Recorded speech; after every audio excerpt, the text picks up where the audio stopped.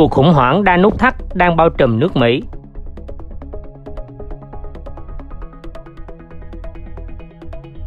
Ông Donald Trump vừa chạm đến tận cùng bỉ cực của nhiệm kỳ tổng thống Mỹ.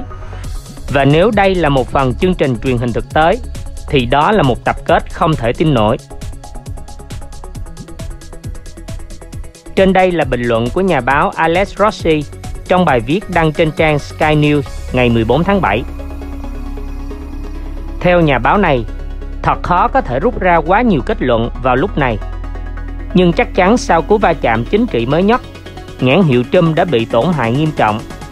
Ông trở thành tổng thống duy nhất trong lịch sử nước Mỹ bị luận tội hai lần, bị cáo buộc là mối đe dọa rõ ràng và hiện hữu đối với đất nước mà chính ông đang lãnh đạo. Đó là một di sản tồi tệ của một nhiệm kỳ tổng thống vốn liên tục phá vỡ các quy ước cơ bản. Luận tội là một quá trình chính trị, không phải là một quá trình tội phạm. Nếu đó là một tội, thì giai đoạn này tương đương với việc bị buộc tội. Ông Trump bị cáo buộc kích động bạo loạn.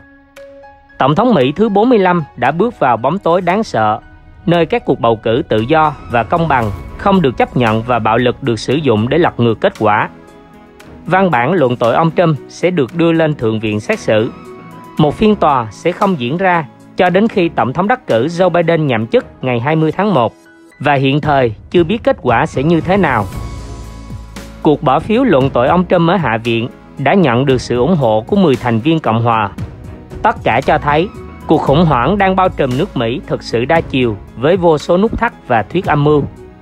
Phe Cộng hòa đang tan rã, gắn bó hay từ bỏ ông Trump là vấn đề thực sự gây chia rẽ.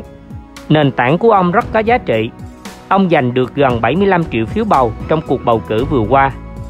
Đối với phe Dân Chủ, phiên xử ở Thượng viện sẽ tiêu tốn thời gian và năng lượng quý giá đúng thời điểm khởi đầu của nhiệm kỳ ông Biden, phủ bóng đen lên nghị trình cải cách kinh tế và xử lý dịch bệnh.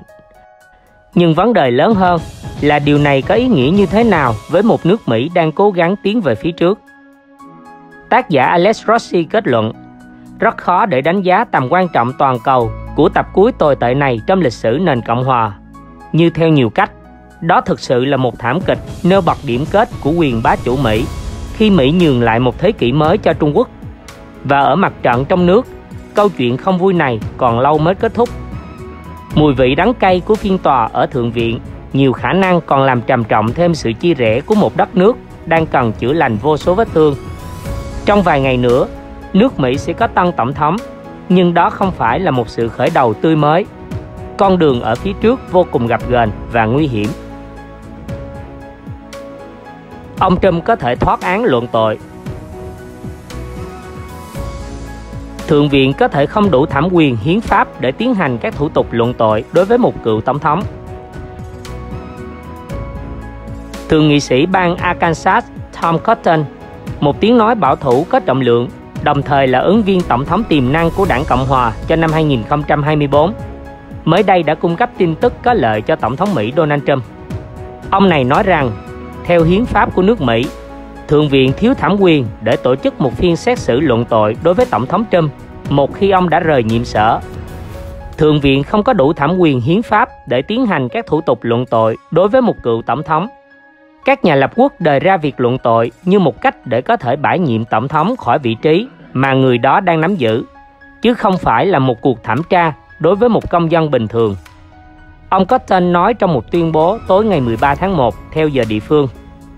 Cách lập luận của Thượng nghị sĩ Cotton để kêu gọi Thượng viện không bỏ phiếu kết tội ông Trump một khi ông đã rời nhiệm sở, có thể sẽ trở thành vỏ bọc chính trị để các thượng nghị sĩ khác của GOP bỏ phiếu phản đối điều khoản luận tội mà Hạ viện đã thông qua. Cho dù họ nghĩ rằng ông Trump có thể đã phạm phải những điều đáng bị luận tội. Cách lập luận này cũng tương đồng với ý kiến của giáo sư luật Mỹ Jonathan Turley đến từ Đại học George Washington, Mỹ. Giáo sư này nói rằng ông không tin Tổng thống Trump đã phạm tội đến mức có thể luận tội. Giải thích trên đài Fox News ngày 10 tháng 1, giáo sư Turley nói rằng lời kêu gọi biểu tình của ông Trump không cấu thành bạo loạn và rằng Quốc hội Mỹ phải cân nhắc kỹ càng về các cáo buộc để hành động hợp hiến. Ông Trump đã mời người ủng hộ tới dự cuộc meeting ở Washington hôm ngày 6 tháng 1 Cùng ngày, Quốc hội Mỹ có phiên họp chung kiểm phiếu đại cử tri và xác nhận kết quả bầu cử tổng thống Mỹ. Lúc đó, Ông Trump tiếp tục nói rằng cuộc bầu cử đã bị đánh cắp nhưng muốn người biểu tình hành động ôn hòa. Bài phát biểu của ông Trump không cung cấp cơ sở rõ ràng cho những cáo buộc về bạo loạn hoặc xúi dục. Tổng thống Trump nói đến việc những người ủng hộ tuần hành ôn hòa. Ông không kêu gọi bạo loạn. Ông ấy không yêu cầu dùng bạo lực. Giáo sư Turley nêu lưu ý. Trong một bài viết đăng trên trang The Hill hôm ngày 9 tháng 1, giáo sư Turley cho biết dù ông không đồng tình với những bình luận của Tổng thống Trump, nhưng ông đánh giá việc luận tội ông Trump nhanh chóng có thể gây tổn hại cho hiến pháp Mỹ. Theo giáo sư này, nỗ lực loại bỏ ông Trump chỉ vài ngày trước khi hết nhiệm kỳ là cuộc tấn công điên cuồng. Với việc tìm cách loại bỏ ông Trump vì đã kích động bạo loạn, các đảng viên dân chủ sẽ phá hủy không chỉ tiêu chuẩn luận tội mà còn tự do ngôn luận. Ông Turley đánh giá khi đảng Dân Chủ thúc đẩy việc luận tội Tổng thống Mỹ Donald Trump gấp rút. Ông Turley nói rằng đảng này nên thận trọng về việc tạo ra một tiền lợi như vậy. Hiện việc luận tội Tổng thống Trump vẫn cần đưa lên Thượng viện để bỏ phiếu thông qua. Theo lịch họp của Thượng viện được lãnh đạo phe đa số tại Thượng viện Mitch McConnell tuyên bố, việc bỏ phiếu xem xét luận tội Tổng thống Trump lần thứ hai sẽ không bắt đầu cho tới khi Thượng viện trở lại sau khi kỳ nghỉ kết thúc vào ngày 19 tháng 1 tới. Điều đó có nghĩa là phiên xét xử sớm nhất có thể diễn ra vào lúc 13 giờ ngày 20 tháng 1, ngày Tổng thống đắc cử Joe Biden tuyên thệ nhậm chức và cũng là ngày nhiệm kỳ của ông Trump chính thức kết thúc. Với các quy tắc, các quy trình cũng như các tiền lệ trước đây mà Thượng viện đã tiến hành với các phiên xét xử luận tội, chỉ đơn giản là sẽ không có cơ hội để một phiên xét xử công bằng hoặc nghiêm túc có thể kết thúc trước khi Tổng thống đắc cử Joe Biden tuyên thệ nhậm chức vào tuần tới. Thượng viện đã từng tổ chức 3 phiên xét xử luận tội tổng thống, nhưng phiên xét xử này lần lượt kéo dài 83 ngày, 37 ngày và 21 ngày. Ông Mitch McConnell nói,